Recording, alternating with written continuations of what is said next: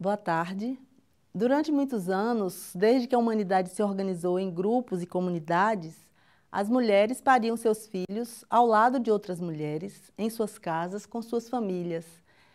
Na enorme maioria das vezes, tudo corria bem, é, mas em muitos casos aconteciam mortes de mulheres ou de seus bebês. Por muitos milênios, isso foi aceito como parte natural da vida e da seleção natural.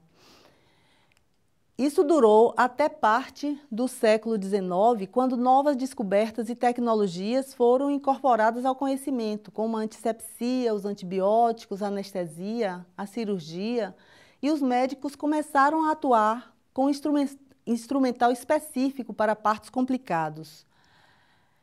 É, à medida que o conhecimento científico foi se expandindo de forma muito rápida e o sistema patriarcal foi dominando a sociedade, as parteiras foram gradativamente sendo excluídas do cenário do parto, o que fez também com que as mulheres fossem perdendo o conhecimento sobre seus corpos, seus ciclos, suas funções fisiológicas. O fato é que nesse processo muitos avanços foram conseguidos, sendo que o principal deles foi a redução acentuada das mortes de mães e crianças, Porém, como em quase todos os aspectos da nossa civilização, nós exageramos, nós erramos a mão.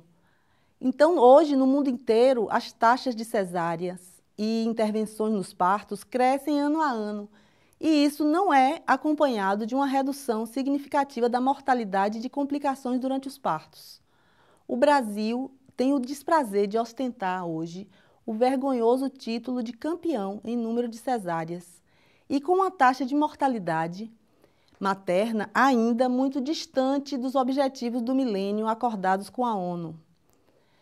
Nas últimas décadas, vem crescendo um movimento das mulheres e de uma corrente de profissionais por uma mudança nesse cenário, chamado de Movimento pela Humanização do Parto e Nascimento. Esse movimento ele procura aliar a arte das parteiras com a ciência obstétrica. O que está se buscando, na verdade, é a retomada do protagonismo da mulher. Isto quer dizer o quê? É o respeito à autonomia em relação a como, onde e com quem essa mulher deseja ter o seu parto. É, inclui uma visão do parto como um evento biopsicossocial, familiar e integrativo.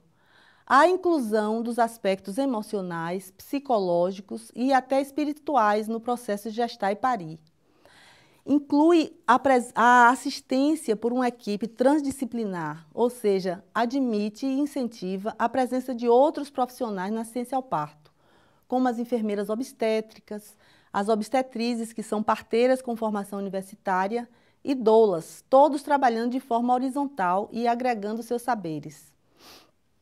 É, prevê que as intervenções do parto, quando necessárias, sejam realizadas de forma racional e criteriosa, e com base em evidências científicas, ou seja, não se exclui a tecnologia, mas sim o seu abuso.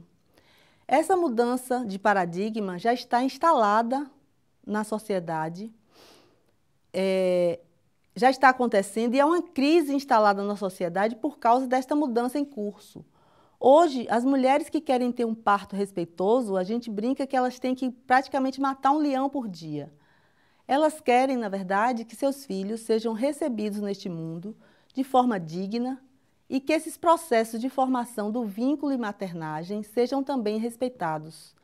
Elas acreditam que são capazes de gestar, de parir e de maternar sem a tutela e a imposição do poder médico. Querem que o sistema médico, na verdade, seja seu aliado e não seu algoz. Essas mulheres, elas estudam, elas se informam, elas decidem e elas fazem opções da forma mais consciente possível. Mas o que, que acontece? Muitas mulheres são envolvidas e tomadas pela cultura do medo do parto e medo da dor e não têm acesso a informações de qualidade. Por outro lado, os médicos e os profissionais de saúde, os familiares, a sua rede de contato e a própria sociedade, todo mundo deixou de acreditar no parto como um evento fisiológico, como um evento normal, seguro e que foi desenhado pela natureza para funcionar na maioria das vezes.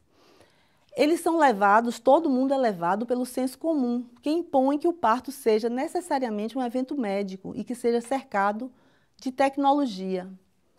Por outro lado, a formação do médico é voltada para a patologia, para a doença, e há uma deficiência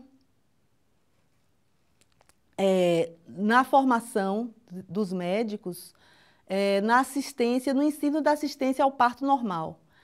Eles são treinados, na verdade, para intervir sempre, para salvar a mãe e o bebê. E a nossa sociedade de consumo imediatista, ela não tem mais paciência nem estrutura emocional para lidar com o tempo necessário e com a imprevisibilidade do parto. E muitas mulheres hoje ainda sofrem muitas violências no momento do parto, tanto por parte de profissionais de saúde, como também por protocolos institucionais rígidos, além de péssimas condições de atendimento. O que, que aconteceu? é, com toda essa crise, os órgãos e gestores de saúde pública, preocupados com esse cenário e, pre e pressionados também pelos movimentos sociais, é, estão tentando criar mecanismos para conter o avanço nas taxas de cesáreas e intervenções no parto, estão tentando incentivar a humanização do parto e nascimento e melhorar os indicadores de qualidade. Tudo isso através da criação de diversas políticas públicas, como a Rede Cegonha, a criação de censo de parto normal, diretrizes, resoluções. É, essas estratégias, no entanto, esbarram numa série de dificuldades. Hoje existe uma crise política de desconfiança e descrença nos gestores e nos governos. Existe uma carência de leitos na rede pública por falta de, investimentos, por má distribuição e a carência de leitos também na rede privada. A, a rede privada é regida pelas leis de mercado. E a obstetrícia, principalmente a obstetrícia fisiológica, não dá lucro aos hospitais. Há uma evasão dos profissionais médicos da obstetrícia e da neonatologia. É uma, são, são profissões muito é, difíceis, muito, é, que exigem muito do profissional.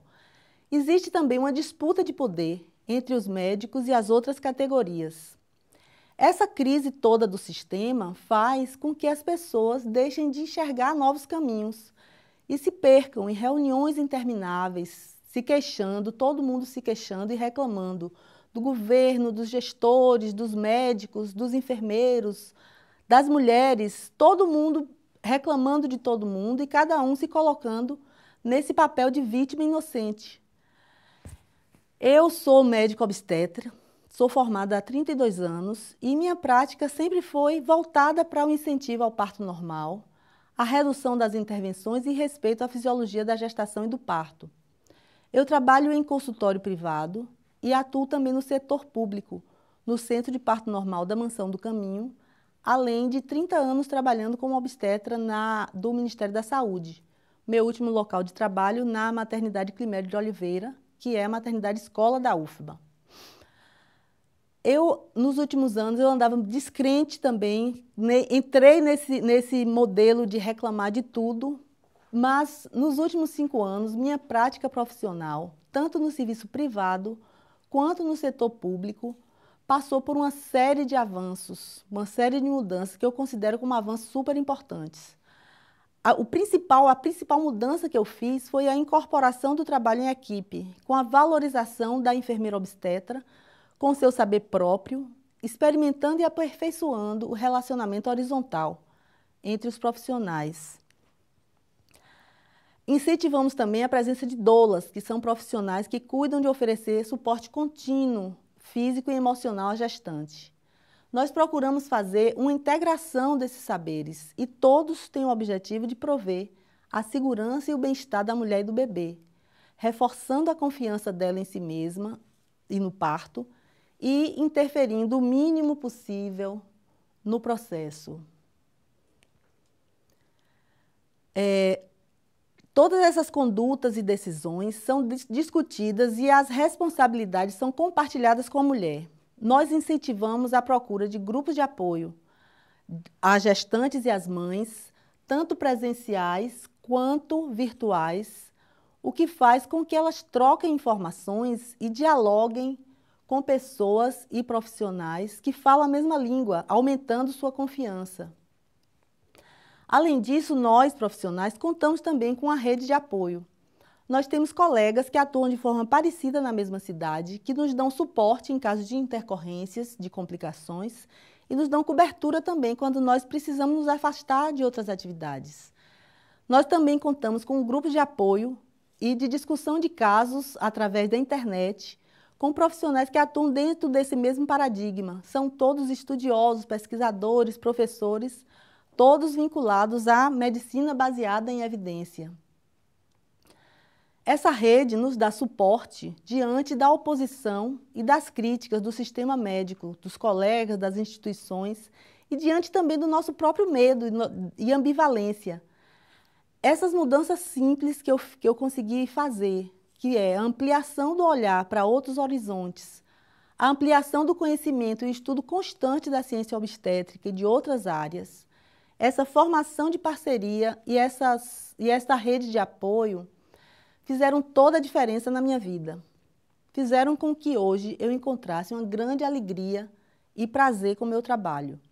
Não só porque meus indicadores de qualidade melhoraram, mas porque, na verdade, me fazem acreditar que todo o estudo, que os dias e noites sem dormir valem a pena, pelo sentimento de estar prestando um serviço em benefício de algo muito maior.